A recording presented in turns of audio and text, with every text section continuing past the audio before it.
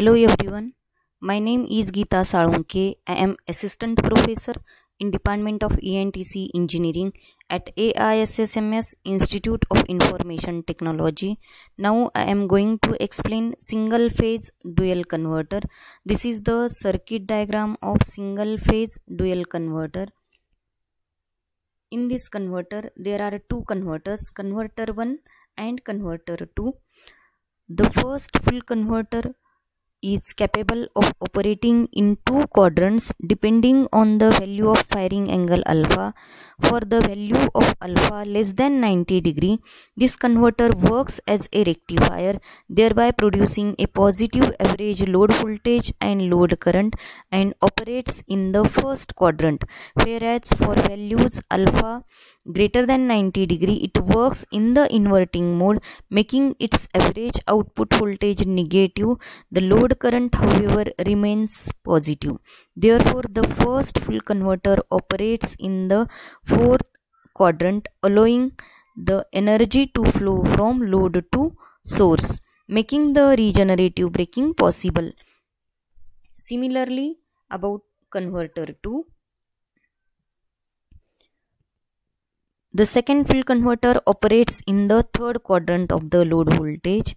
Load current characteristics for alpha less than 90 degree the average load voltage and load current both are negative. The direction of power flow is from source to load and the dc machine works as a motor the converter operates in the third quadrant. The direction of rotation reverses. This converter acts as an inverter for alpha greater than 90 degree. The average load voltage is possible but the average load current continues to be negative. Therefore, the power flow will take place from load to source. The load acts like source that is the motor will act as a generator and regenerative braking will takes place.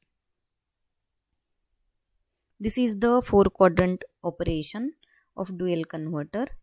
These are the waveforms of output voltage. Input voltage waveform. This is converter 1 output.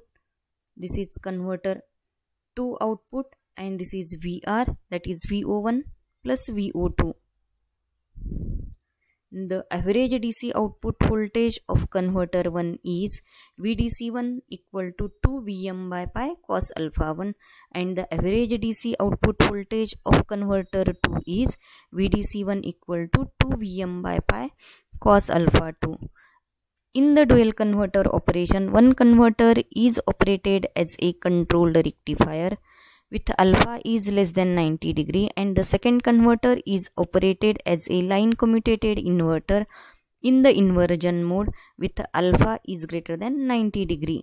So VDC1 equal to minus VDC2. Now if we compare these two waveforms its expression 2 Vm by pi cos alpha 1 equal to minus 2 Vm by pi cos alpha 2 it is nothing but 2 Vm by pi minus cos alpha 2 that is cos alpha 1 equal to minus cos alpha 2 or cos alpha 2 equal to minus cos alpha 1 that is nothing but cos pi minus alpha 1. Now see left hand side and right hand side we can say that alpha 2 equal to pi minus alpha 1. Now we'll see advantages of circulating current mode of operation. The circulating current maintains continuous conduction of both the converters over the complete control range independent of the load. One converter always operates as a rectifier and the other converter operates as an inverter. The power flow in either direction at any time is possible. As both the converters are in continuous conduction, we obtain faster dynamic response that is the time response for changing from one quadrant operation to another is faster. Now we'll see disadvantages of circulating current mode of operation. There is always a circulating current flowing between the converters. When the load current falls to zero, there will be a circulating current flowing between the converters. So we need to connect circulating current re reactors in order to limit the peak circulating current to safe level. Thank you.